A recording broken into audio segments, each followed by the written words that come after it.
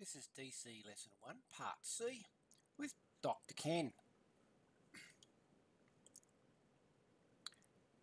About this lesson, we're going to introduce the terms open circuit, closed circuit, and short circuit. We're going to explore the electric circuit and the components and their symbols.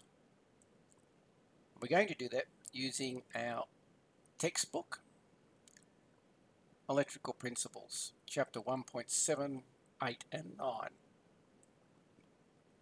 So here's our basic circuit, kind of done as what we might call a connection diagram. So let's have a look at what our circuit is made from.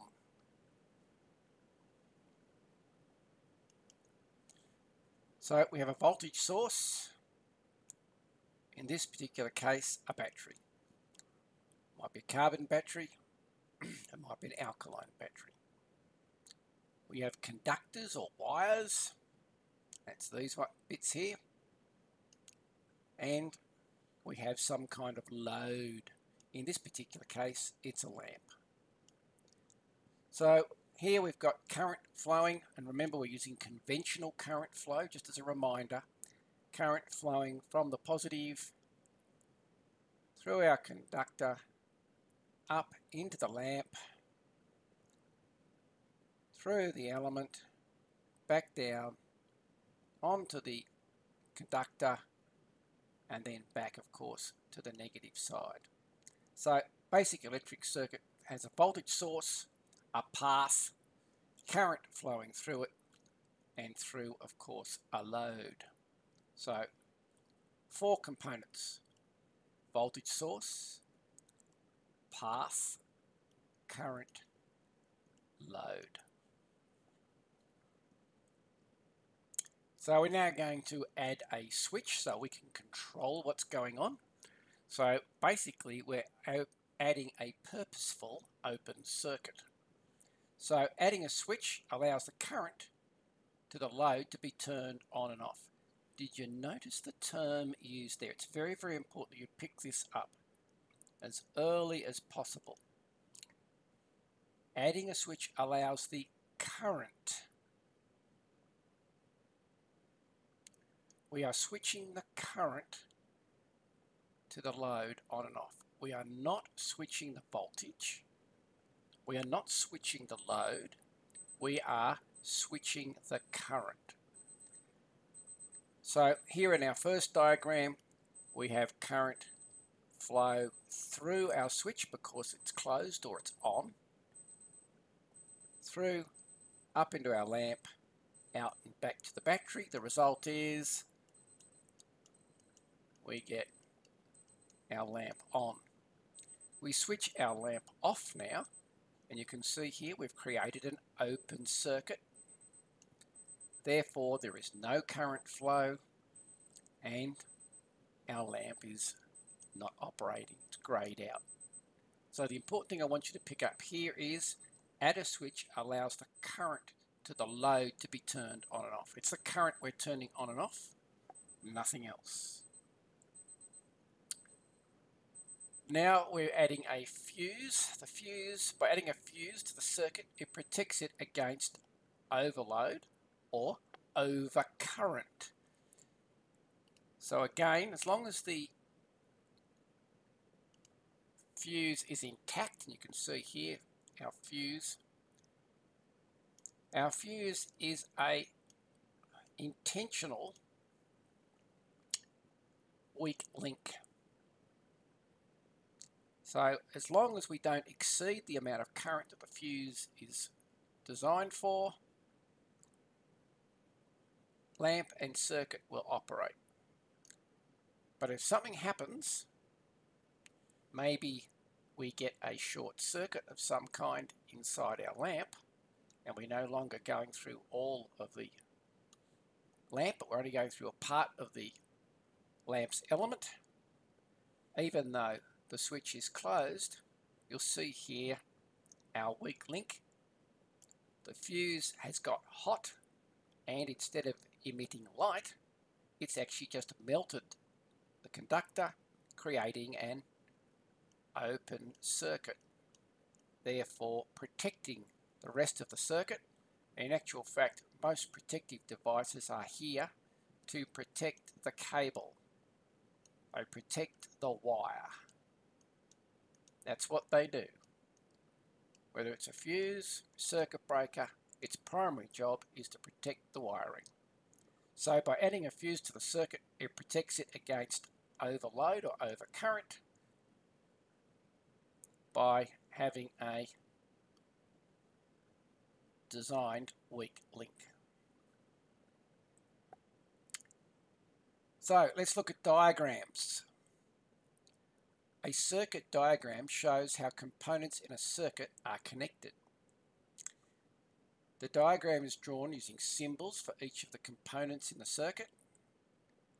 All electrical components have their own symbol, which are actually visible metaphors for what they do. And Australian standard symbols are used for our electrical trades.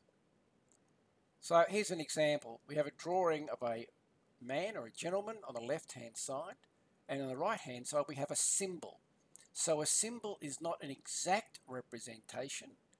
As I said before, a symbol is a visual metaphor. So symbol is simply a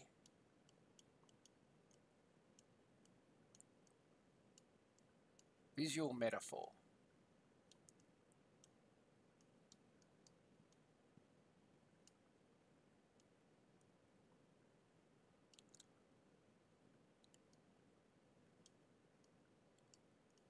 visual metaphor. So visual metaphor is a symbol.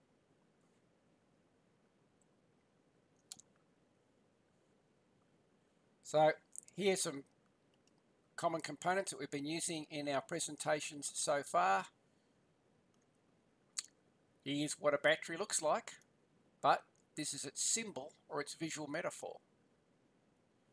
Even a car style battery this may be what it looks like, but you can see its visual metaphor is not that different from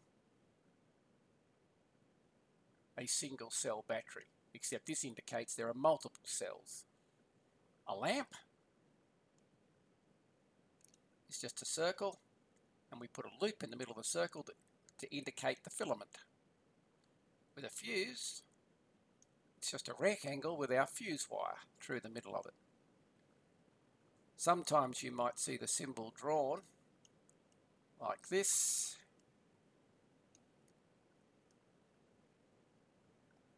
And they do that in the middle of it.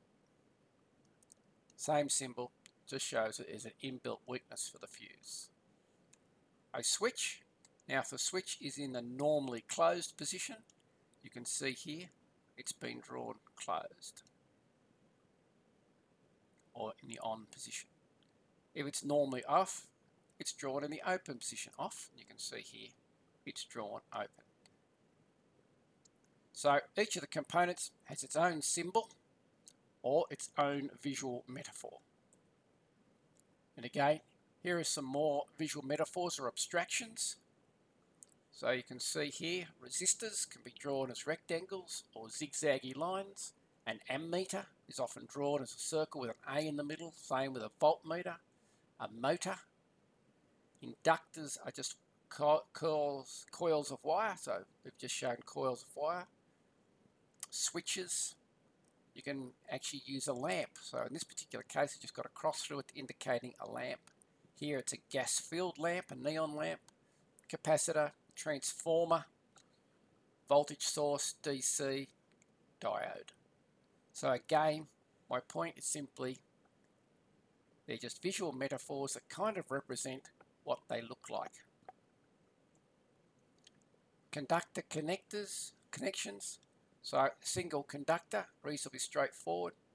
If two wires cross each other but are not connected, you can just see the two wires crossing. But if the wires are all connected together through some kind of terminal system, we put a dot to indicate the terminal. And again, here we've got four wires all connected together, and you can see, again, here's the physical representation, but when we draw it, we just simply use dots to indicate that the wires are connected together. So what's the difference between a connection diagram and a circuit diagram? So that's what we're doing here. On the left-hand side, we have a connection diagram which uses the physical pieces of equipment. We've drawn a battery so it looks like a battery. We've drawn a fuse so it looks like a fuse, a switch so it looks like a physical switch, and a lamp so it looks like a physical lamp. So that we would call a connection diagram. On the right hand side, we've used some symbols rather than the actual devices. So we've used a battery symbol for our battery in the circuit. We've used our fuse symbol for our fuse in the circuit. Switch symbol for our switch. And of course, finally, our lamp symbol. So connection diagram on the left, uses graphics that represent what the components actually look like. A circuit diagram uses their symbol representation.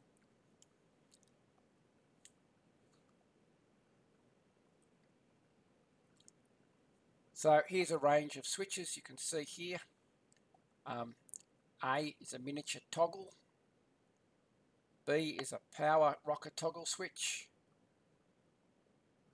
C is what we would call a light switch mech or mechanism. D, both these Ds over here are toggles. E, both of these here are push buttons, you just push down on the button to operate them. F is a rotary selector switch, sometimes called a wafer switch because it's kind of made up out of all these wafers. Um, and G, these two over here are limit switches. So they've got a mechanical arm on them of some kind that operates the switch. And here's the contacts to the switches. So there are some switch examples. Cables and connectors. So over here we've got tunnel terminals. And of course individual screw terminals.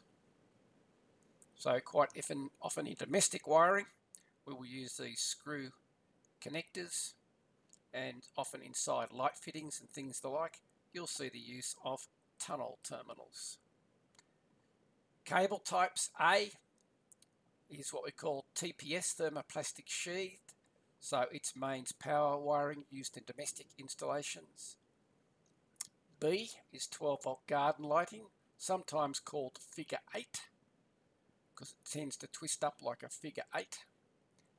And then C is different types of conductors, so what we would call building wires. So these ones down here, we would call those building wires. And they're single insulated, where the TPS, the thermoplastic sheathing, is double insulated. The outer white sheath and then the inner, inner colour sheath. So this is double insulated, single insulated, single insulated. So what is an open circuit? So again, I've got a little word of warning here. And the reason I've got the little warning symbol up here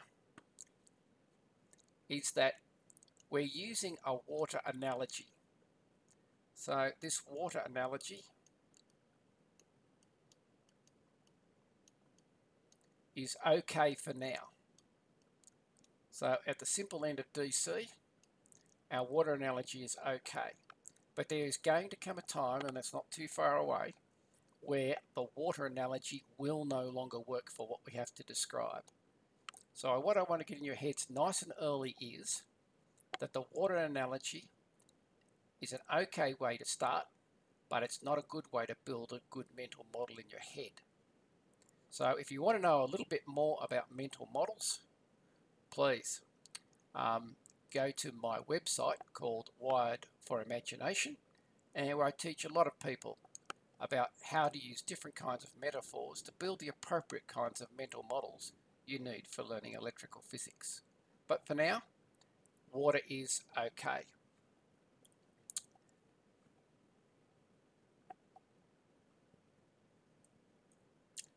So here on this diagram, we've got what we call an open circuit. The first one, you can see here, got a break in the pipe.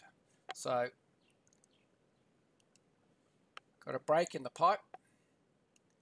Therefore, it doesn't matter how hard this pump pumps around or how much pressure it tries to develop.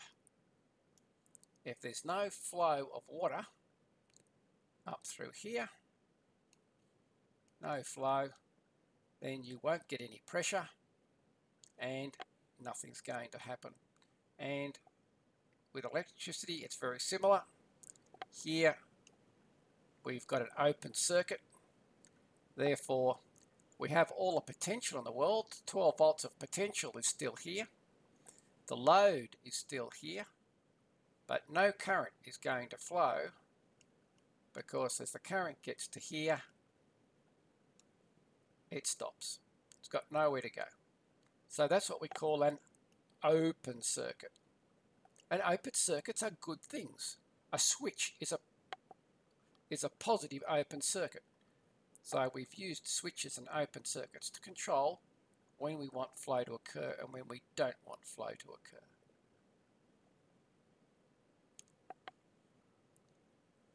Okay. Next is a closed circuit. So this is like closing the switch. And you can see here, we've got our water flow up, round through our pump and back into our tank. And work is being done. And similarly with our electrical system, we have potential through the load, up through the lamp, and back out. So we have current flowing. So this is a closed circuit.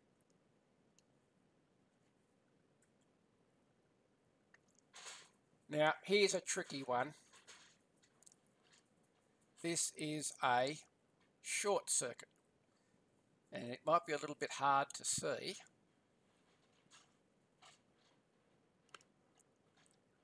But you can see our pump has had an extra piece of pipe installed, which circuits the pump. So water gets sucked up, but instead of going out through the tap, it goes back around and around and around through the pump. So hydraulically, we call that a short circuit. And we can do the similar thing here. We could put a piece of wire across our battery. Now, by the way, don't do this at home batteries can provide a lot of current and a lot of energy with a short circuit and that wire will get very hot very quickly but also you can see the battery will get hot and you can create some horrendous amount of damage. But as you can see the vast majority of the current is now flowing through the short circuit and almost no current, just a tiny tiny little bit of current would flow through our lamp but not enough current to make it turn on or make it glow. So very small amount of current goes through the lamp, but not enough to make the load operate and glow. The rest of it's going through here. So you can see here, like I said, warning, warning, warning. In this particular case, our water analogy only partially describes what's going on. So the reality is we would get a little bit of water flow dripping out of here electrically. Just a few drips. So that's why I say be very careful with the water analogy. It doesn't always work perfectly. So I hope you've enjoyed uh, lesson number one, part C. Dr. Ken signing off.